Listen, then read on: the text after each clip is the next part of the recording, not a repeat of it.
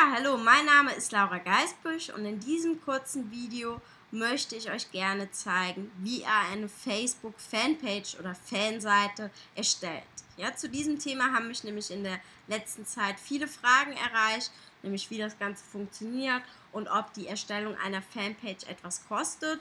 Und um es gleich vorweg zu sagen, die Erstellung einer Facebook-Fanpage ist völlig kostenlos und auch wirklich super easy und das möchte ich euch in diesem kurzen Video auch gerne zeigen.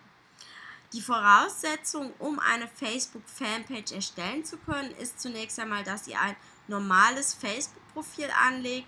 Ich denke, das dürfte in der heutigen Zeit jeder bereits haben. Falls nicht, bitte daran denken, dass ihr vorab ein normales Facebook-Profil anlegt. Und wenn ihr das gemacht habt, dann klickt ihr hier oben rechts auf diesen Pfeil und geht auf Seite erstellen. Und nun müsst ihr hier zunächst einmal festlegen, für was ihr eine Fanseite erstellen möchtet. Ja, ob für euer Unternehmen, eure Marke oder euer Produkt. Ja, in meinem Beispiel möchte ich es jetzt mal für mein Unternehmen zeigen. Und wenn ihr euch entschieden habt, klickt ihr hier auf den entsprechenden Button, also in meinem Fall Unternehmen. Und hier muss ich zunächst einmal dann eine Kategorie für das Unternehmen auswählen. In meinem Fall ist das dann Internet und Software. Hier müsst ihr dann noch den Namen eures Unternehmens hinterlegen. wenn ihr das getan habt, klickt ihr einfach auf Los geht's.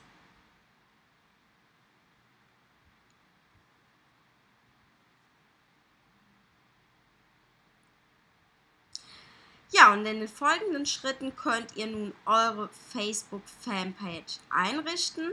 Und im ersten Schritt solltet ihr zunächst einmal detaillierte Informationen zu eurem Unternehmen oder eurem Produkt hinterlegen, damit die Leute, die auf eurer Fanseite landen, auch sofort erkennen können, um was es sich bei eurem Produkt oder Unternehmen handelt. Ja?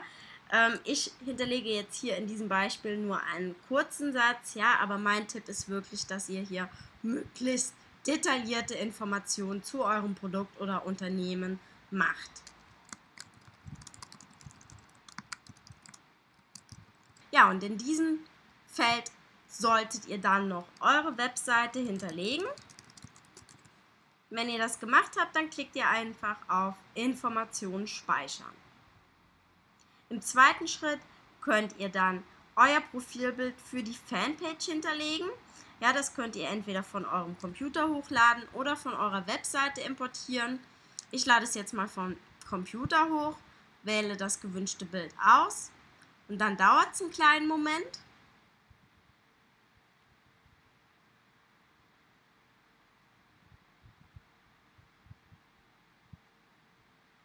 Ja, dann sieht man es hier auch und klickt einfach auf Weiter. Der dritte Punkt ist jetzt nicht zwingend notwendig, ja, aber ich möchte ihn auch nochmal kurz erklären. Wenn ihr euch in eurem Facebook Dashboard einloggt, ja, dann habt ihr auch eine Spalte mit euren Favoriten, ja, wo ihr direkt Zugriff auf eure Neuigkeiten oder Nachrichten oder Veranstaltungen habt. Und zu diesen Favoriten könnt ihr eure Fanpage auch hinzufügen, ja, damit ihr auch sofort unter den Favoriten Zugriff auf eure Fanpage habt. Und wenn ihr das möchtet, klickt ihr einfach hier auf zu Favoriten hinzufügen. Wenn ihr das nicht möchtet, könnt ihr diesen Punkt auch einfach überspringen. Ja, und im letzten Schritt könnt ihr nun noch eine bevorzugte Seitenzielgruppe hinterlegen. Also wenn ihr eure Zielgruppe für euer Produkt oder euer Unternehmen bereits kennt, könnt ihr die Information zu der Zielgruppe hier hinterlegen.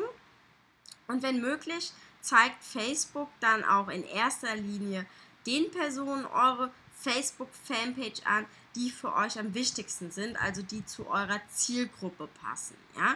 Die Seite kann aber natürlich auch von jedem gefunden werden, der jetzt nicht unbedingt eurer Seitenzielgruppe entspricht. Ja, aber wenn ihr diese Informationen habt, solltet ihr die hier hinterlegen, um möglichst viele Fans, die eurer Zielgruppe entsprechen, für eure Seite zu gewinnen.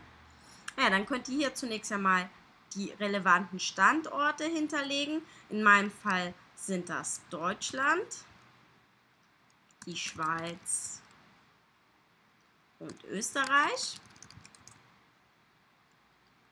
Dann könnt ihr hier das Alter für eure Zielgruppe hinterlegen. Das lasse ich jetzt mal so. Das könnt ihr hier aber euren Wünschen entsprechend anpassen. Und ihr könnt noch das Geschlecht für eure Zielgruppe hinterlegen. Ja, in meinem Fall, ich möchte, möchte ich gerne Männer und Frauen ansprechen. Wenn ihr aber jetzt nur Männer ansprechen wollt oder nur Frauen, könnt ihr hier entsprechend den Button auswählen. Ja, und hier könnt ihr dann auch noch Interessen, die für eure Zielgruppe relevant sind, hinterlegen. In meinem Fall zum Beispiel Online-Marketing und Affiliate-Marketing. Ja, da gebe ich jetzt mal nur zwei an. Da solltet ihr dann eure Interessen hinterlegen und wenn ihr das gemacht habt, klickt ihr auf Speichern.